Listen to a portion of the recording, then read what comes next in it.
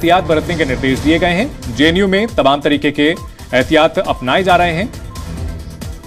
Corona को लेकर सरकार ने अलर्ट जारी किया है और ऐसे में अब से मास्क लगाना फिर से ज़रूरी होगा, खासतौर पर भीड़ भाड़ वाले इलाकों में।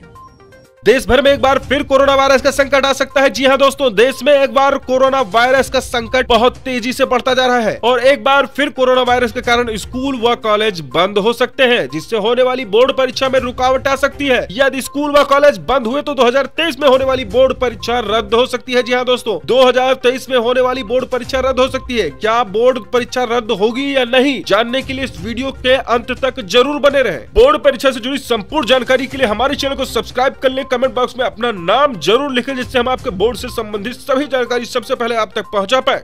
इस बार यूपी बोर्ड कक्षा दसवीं और बारहवीं दो का टाइम टेबल भी जारी हो चुका है। लेकिन यूपी की योगी सरकार ने इस बार होने वाली बोर्ड परीक्षा में महत्वपूर्ण अपडेट को जारी कर दिया है। गौरतलब है, कई बोर्ड ने दसवीं और बारहवीं परीक्षाओं का टाइम टेबल रिलीज़ कर दिया है। यूपी बोर्ड परीक्षा को लेकर महत्वपूर्ण अपडेट जारी हो गई है। और कहा जा रहा है, इस बार स्कूल व कॉलेज बंद हुए तो सभी छात्रों को बिना परीक्षा के भी पास किया जा सकता है। यूपी बोर्ड परीक्षा की तारीख जल्द ही घोषित की जाएगी। साथ ही बोर्ड आगामी बोर्ड परीक्षा की तैयारियों में लगा हुआ है। इस बीच यूपी एमएसपी ने बोर्ड परीक्षा 2023 के लिए ज़िले में दो एग्ज़ाम सेंटर बना दिए हैं। यूपी बोर्ड परीक्षा दसवीं के लिए आवेदन करने वालों को छात्रों का इंतज़ार अब खत्म हो गया है। क्यूँकी कोरोना बढ़ा तो सभी छात्रों को प्रमोट कर दिया जाएगा। उत्तर प्रदेश माध्यमिक शिक्षा परिषद की ओर ऐसी हाई स्कूल यानी बोर्ड परीक्षा का टाइम टेबल कभी भी जारी किया जा सकता है। मीडिया रिपोर्ट के अनुसार यूपी बोर्ड परीक्षा 2023 के लिए लगभग उनसठ लाख स्टूडेंट शामिल होने की उम्मीद है, जिसमें से इकतीस लाख से अधिक यूपी बोर्ड मैट्रिक परीक्षा में शामिल होंगे और सत्ताईस लाख छात्र यूपी बोर्ड इंटरमीडिएट परीक्षा में शामिल होंगे। छात्रों को ऐसा लग रहा है कि कहीं होने वाली बोर्ड परीक्षा रद्द न हो जाए, इस पर उम्मीद है कोरोना की ये लहर खतरनाक हो सकती है। सीबीएसई पहले ही घोषणा कर चुका है की दसवीं और बारहवीं की बोर्ड परीक्षाएँ पंद्रह फरवरी